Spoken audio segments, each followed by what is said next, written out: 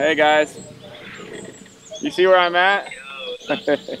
I'm in the middle of the countryside. Happy Thanksgiving. Hey. Well, because I made you guys sideways. I can see more of your face. Yeah. Do you want to be sideways again? That's good. Wow, now I can see everybody. All right, you guys are looking good. All right. Everybody's alive. Are you guys still doing the bar over there? Yeah, yeah, of course. Yeah, yeah, we're doing the bar. Teaching too, yeah. Teaching three days a week. Mostly everything's normal here. Like, that, there's nothing too crazy.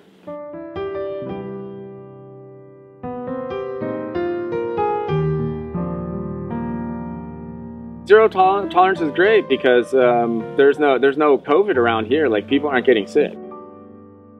The the key to, to the zero tolerance is just having a you know strong policy and having participation and and you know just everybody doing their part. People want want to get it over with, and there's been little waves of COVID here and there, and you know you you wear a mask for like I don't know a week or two, and then it goes away. It's happened like four or five times. It's all mathematical. Life has been fine here. I've been traveling around China. I've been doing things, going to, you know, Beijing and other places, and it hasn't been an issue.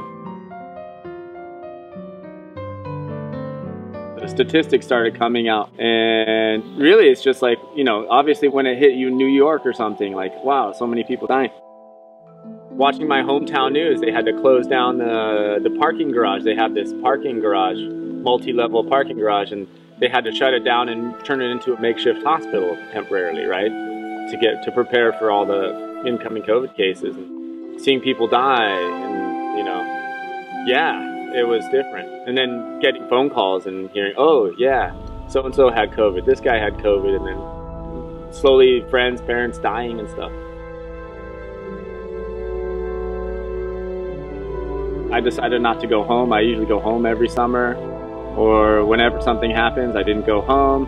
And then the following year, you know, my father, he passed away, not from COVID, but, um, you know, various old age complications. That was sad to have to weigh the decision, do I go home or not? And now after two years, it's, it's more and more difficult because to leave China is fine, to come back is very difficult and it's just such a it's, it's, a huge cost you know time and money to travel internationally just because we have like a no covid policy here. You know that's the price you have to pay i guess you know for maintaining some normalcy some some health around covid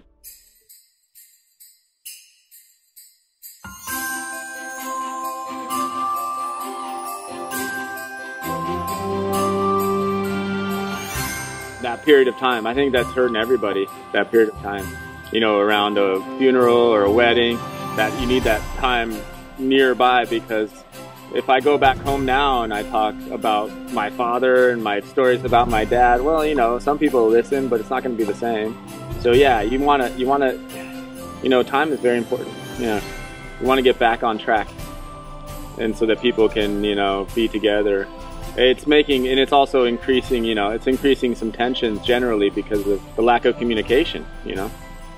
People need to be able to see each other. So i don't blame anybody for that but i mean definitely if covid is is bad and you want to get rid of it then get rid of it you know?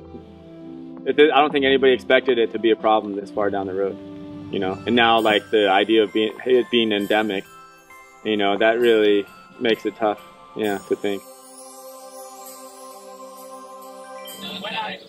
coming for a visit? Well, as soon as I can come, man. I wanna. I would have been there many times by now, but uh, yeah, whenever they open up the border again, so that it's easy. Yeah, you can come and visit. You can come here, but you have to quarantine for two to three weeks at least, and you have to prepare a whole bunch of documentation and proof that you've been testing, uh, and you have to run that through the consulate, and then and then they'll let you fly here. Yeah. And then you have to quarantine when you get here.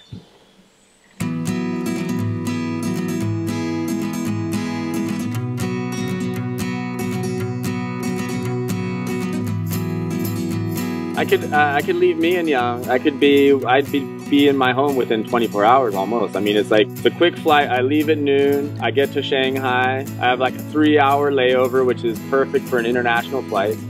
Get on that flight. I'm in LA. From LA, I take a quick transfer back home to Reno.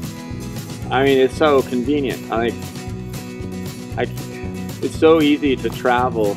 We take that for granted. Like, I can't imagine if it what it'd be like if, if it didn't get back to normal soon. All the other stuff doesn't matter anymore. Like, I used to, first thing I used to do was like, like eat some food or something, get some Mexican food or eat some steak or something. But no, this time I'm not even thinking about that. Just hanging out with the family. Yeah, I've seen my mom, you know, maybe uh, I don't know, honor my dad somehow, you know, stuff like that. It's like I'm not even thinking about all the fun stuff. It's, it's, it's kind of it's past.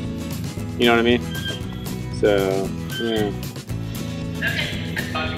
All right, love you guys. All right, say bye to football and Simone. All right, bye bye.